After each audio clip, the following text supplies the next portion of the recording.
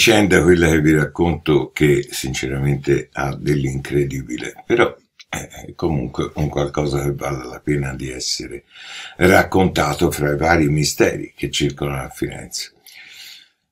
Bene, signori, è il 16 settembre del 1824. A Firenze il figlio di Carlo Alberto, re d'Italia, eh, sta dormendo nella sua culla, quando a un certo punto la Balia, o un altro personaggio esattamente non si sa, entra nella stanza per eh, uccidere le zanzare eh, che stanno tormentando il bambino con una candela. Sta di fatto che dà fuoco alla zanzariera che è sopra la culla e scoppia un incendio.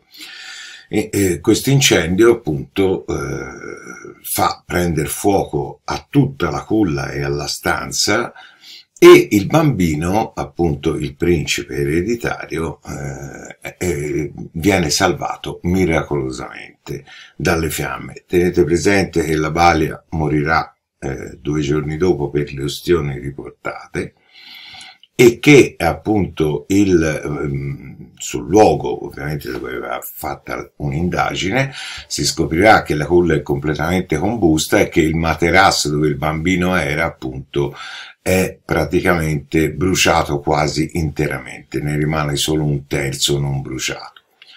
Certo è che questa, eh, il fatto che il giorno successivo il bambino venga mostrato in perfette condizioni di salute, senza neanche una minima ustione, bruciatura o cose del genere, ma in perfetta salute, lascia tutti piuttosto interdetti. Ed è qui che comincia il mistero.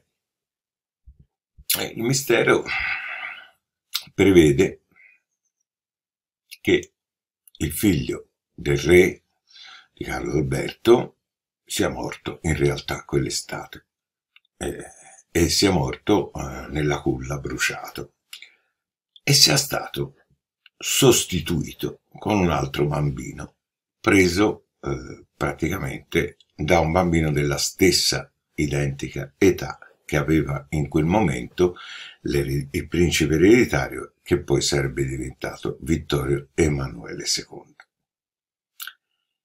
Di chi era questo figlio? Eh, c'è un nome e cognome addirittura, Gaetano Tiburzi, un macellaio di Porta Romana.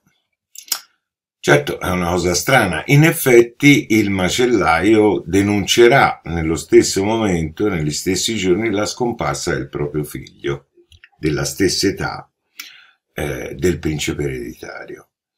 Allo stesso tempo, lo stesso Tiburzi, dopo poco tempo, acquisterà, era un macellaio, insomma, non una persona particolarmente ricca, acquisterà un intero palazzo all'interno del quale in basso aprirà una propria macelleria e diventerà ricco. Sarà ormai una persona ricca, facoltosa. Queste due cose, bah, unite all'altra, danno il primo spunto di riflessione, perché insomma è una cosa piuttosto strana, nessuno capirà come il Tiburzi, appunto, eh, chiamato mh, mm, così con soprannome come avviene spesso a Firenze il Tanaka, appunto, diventerà improvvisamente ricco e, e, de, e di suo figlio praticamente non si avranno più notizie.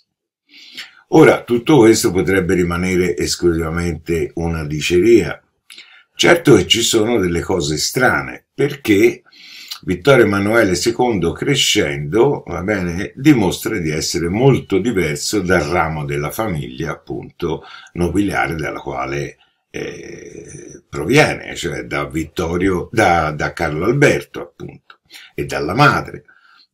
Carlo Alberto è alto quasi due metri, e invece Vittorio Emanuele II 1,56 m, 1,57 m.